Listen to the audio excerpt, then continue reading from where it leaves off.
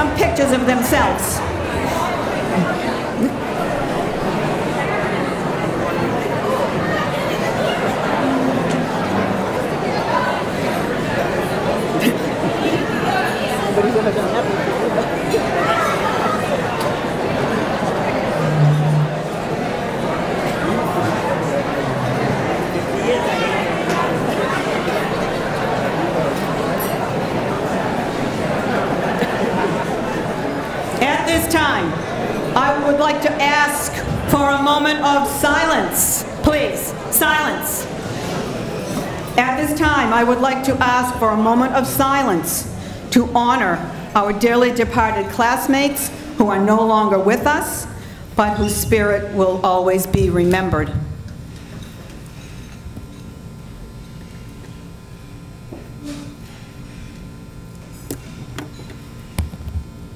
Thank you. I would also now like to ask for all of our veterans to please rise and remain standing, please. All of our veterans, please.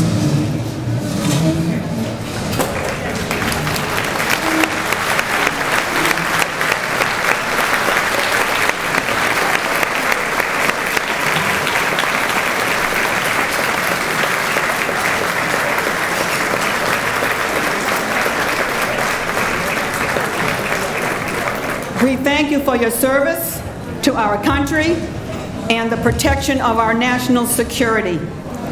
Would you please lead us in the Pledge of Allegiance?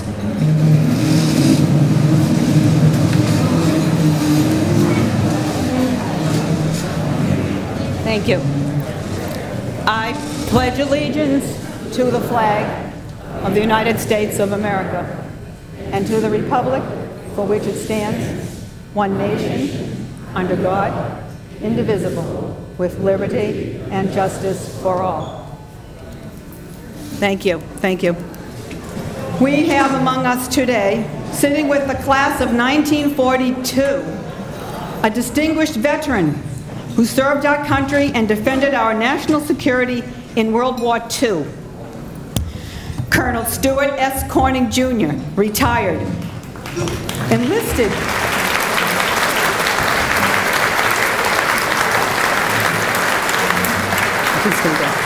He enlisted in the military in March of 1943, and he was placed on active duty in the United States Army in May of that same year, after completing basic training at Camp Shelby, Mississippi. Two months later, he was awarded his first promotion to the rank of Private First Class, followed by advancements to Corporal and then to Sergeant. In May of 1945, Colonel Corning was commissioned as an officer, Second Lieutenant two years after being placed on active duty. In August 1945, the then Second Lieutenant Corning returned home from the war. He was discharged in May of the following year and retired from active duty, completing his three-year commitment. However, he continued to serve in the Army Reserve. During the 23 years from 1949 to 1972, he was promoted from the rank of second lieutenant to captain Major, Lieutenant Colonel, and Colonel. He retired in 1984. During his career, Colonel Corning was awarded the Legion of Merit, one of the military's most prestigious distinctions, ranking just below the Silver Star and ahead of the Distinguished Flying Cross. The Legion of Merit is a military award of the United States Armed Forces that is given for exceptionally meritorious conduct in performances of outstanding service, achievements, fidelity, and loyal in either combat or non-combat positions. Colonel Stuart S. Corning Jr., retired U.S. Army, is a remarkable person who devoted 35 years to the service and protection of our country. Colonel Corning, if you are able, can you please stand? Are you able to do that? If not, raise your hat so that everyone can applaud and congratulate you and recognize you for your achievements and dedication.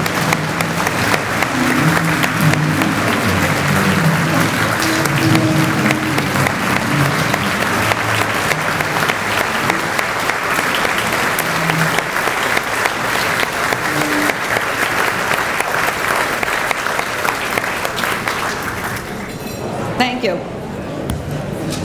I would also like to recognize I would also like to recognize Marilyn Kalbansky, who was, who was recently chosen as Senior of the Year.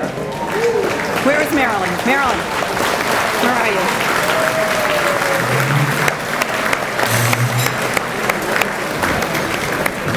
I don't see her. I don't see you. She's good? Oh, she's over there. Okay. As most of you know, Marilyn chaired this, this um, event for 10 years. And she is just a remarkable person and very, very deserving of this wonderful award.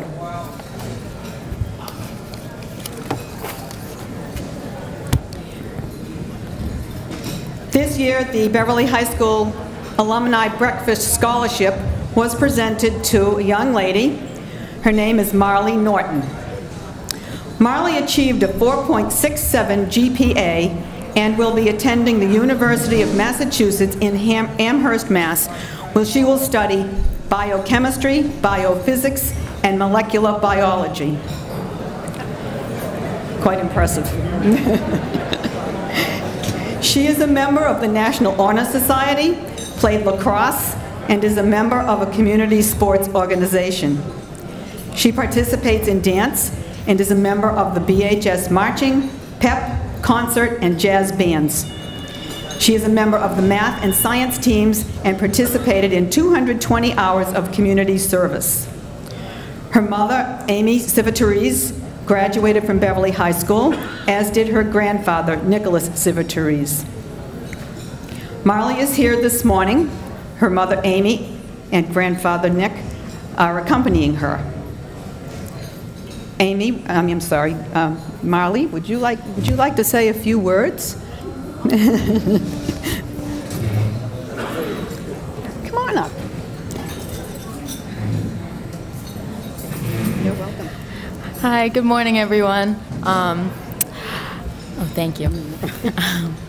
I wasn't, I didn't know I was going to be speaking in front of 400 people today. um, In fact, I had never heard of the BHS alumni breakfast until I had received the scholarship. So this is this is awesome. this is really cool. Um, as Nancy said, my grandfather graduated from Beverly High School in 1960, and my mother in 1985. And you know, Beverly really is home, you know, for our family especially. We've been here since my grandfather's parents came over here from Italy, and I'm assuming the 1940s, right? 1920s, all right. they, they had a lot of kids. um, um, but this, this really means a lot to me. Um, the contribution towards my education, something I care about a lot, and coming from a place that I care about so much. Um, thank you all for being here today. Um, I'm sure this is something that you all really love, and it's something that I love too now. this is, this is a, thank you.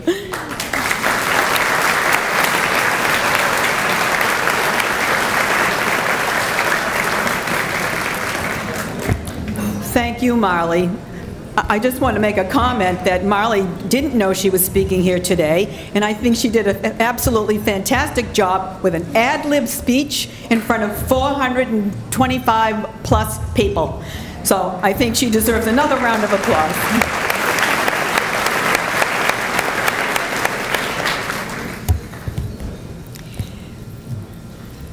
This year, the scholarship was increased from the usual $500 to $800 to your generosity. The donation jar that we put out last year collected over $300. And it's up there again in the back of the hall, and uh, it's, it's, it's voluntary, and we thank you for, for allowing us to collect a few extra dollars so that we can make the scholarship worthwhile. Greetings from our Honorable Michael Cahill. How did I skip that?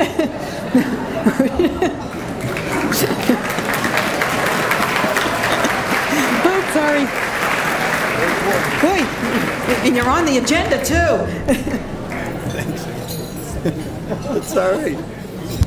Good morning, everybody. How are you? Good.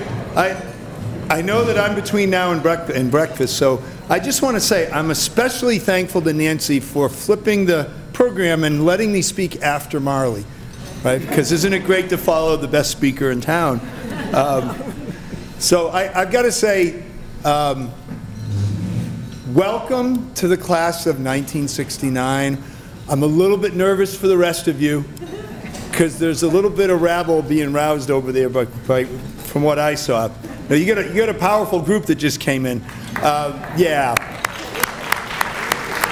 Um, but, oh, God. I know she's sitting next to Mary Catraro. I noticed that.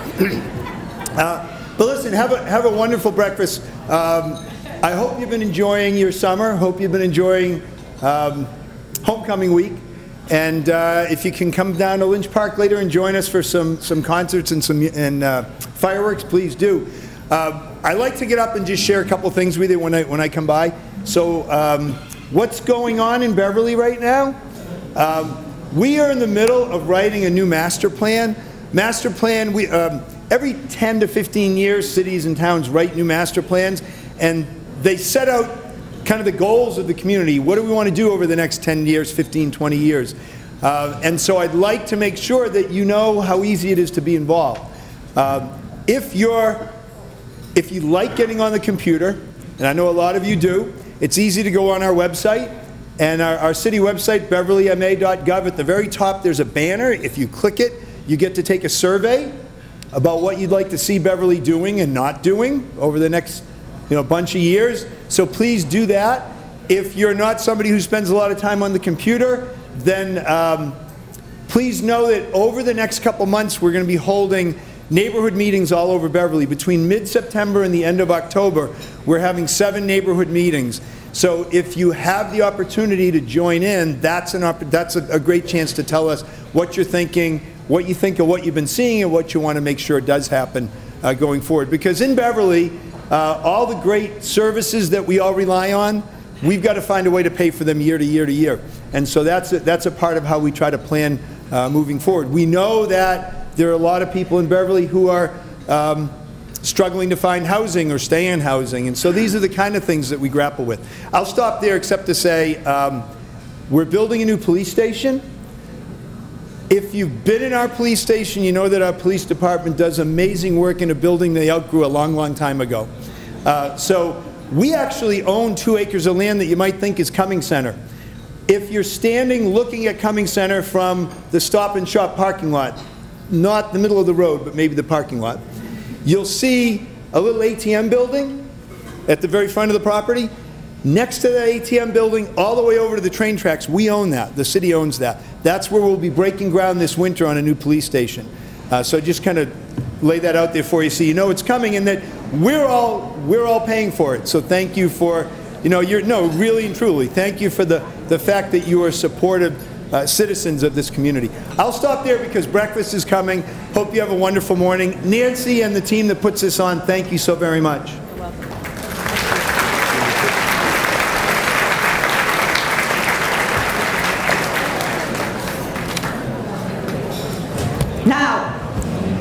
Breakfast is served momentarily. Thank you.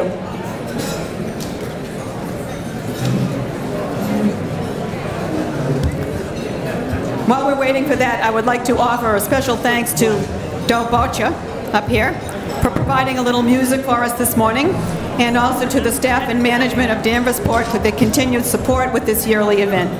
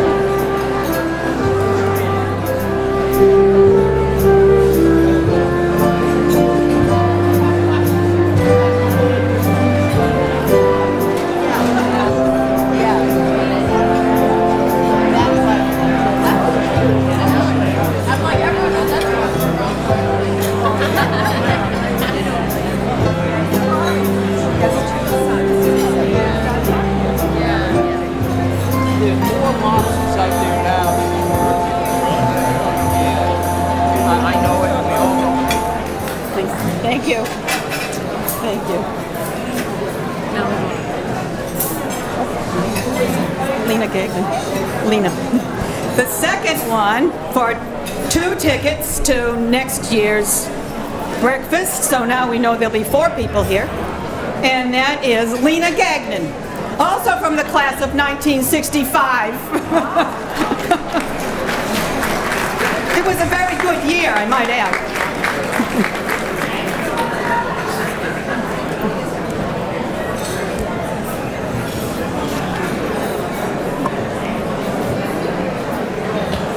Come forward and collect your bounty.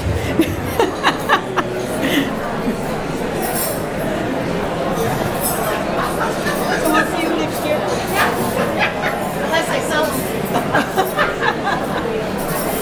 She's gonna sell She's gonna sell them. Okay, thank you. Oh, this is fun.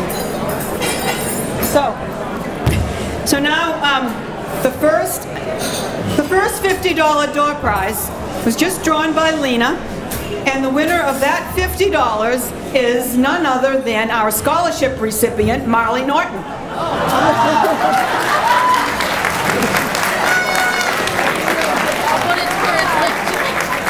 pick another one? Do you want me to pick another one? That'll help with the book. Maybe. Thank you. You're welcome. Okay, for the second fif, for the second $50 drawing, the winner of that is Carol Cicchini. Carol Cicchini. I know she's here because I met her. Over there. Come forward. Please.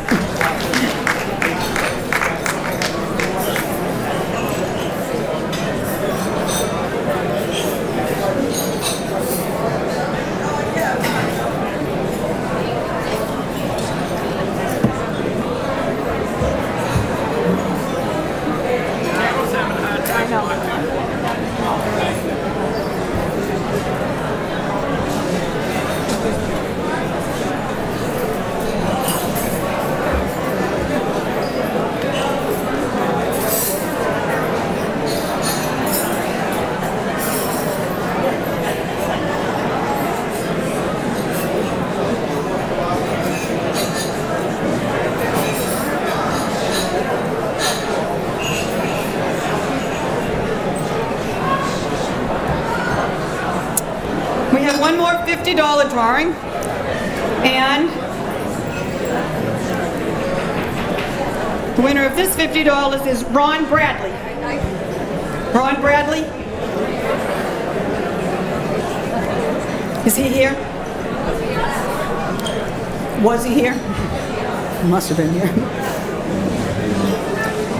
Ron Bradley. Does anybody see Ron Bradley? He left. Well, he loses. Sorry. I think we'll draw another one.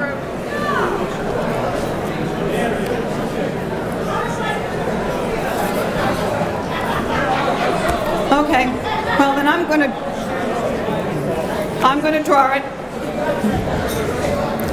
He left.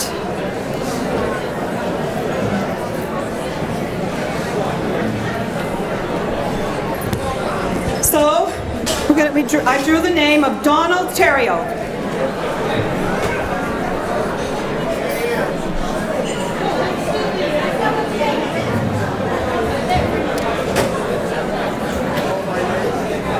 Are you Donald Terrio? I am. Then I did.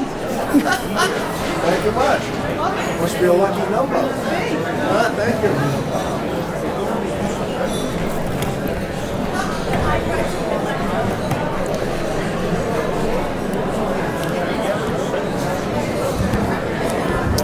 Okay, so once again, a sincere thank you to all my committee members who worked so hard to make this event a continued success.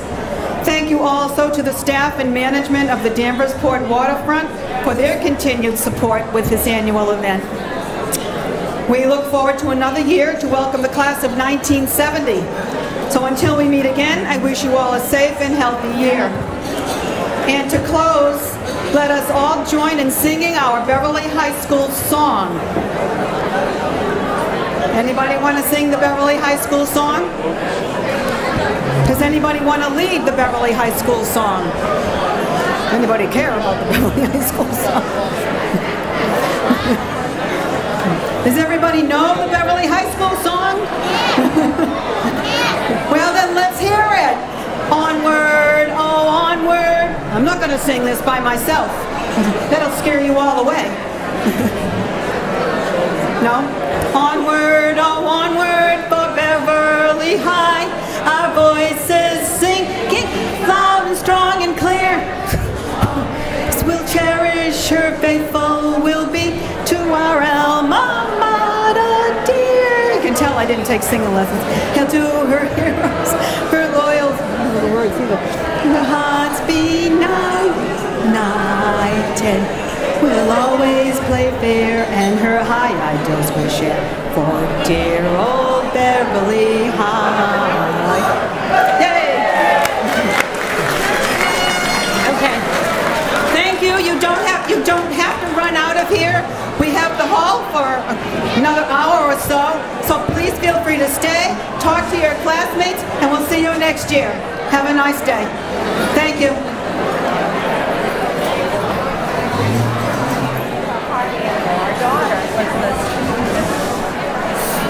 Hi Hi there. 69. 69 also. What? Yeah. Yeah, yeah, yeah. We indoctrinate. If that's what you call it. Good. Thank you. Oh, still, still bad.